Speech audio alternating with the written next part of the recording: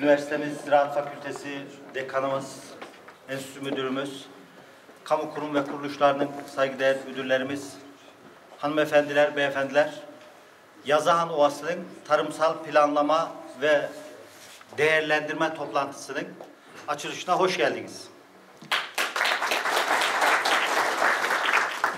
Bugün sabahtan akşama kadar bütün Yazahan'ı konuşmaya çalışacağız. Gerek Yazahan'ın tarımsal anlamda planlanması, gerekse önümüzdeki dönemlerde Yazahan'da yapılacak, üretilecek tarımsal ürünlerin değerlendirmesiyle ilgili bugüne kadar yapılan çalışmalar, bundan sonraki projeksiyonlarla ilgili sizlere bilgi aktarmaya çalışacağız. Sabahki programımızda biz bir mutfak çalışması gerçekleştirdik. Bugüne kadar da bunları sizlere takdim etmeye çalışacağız.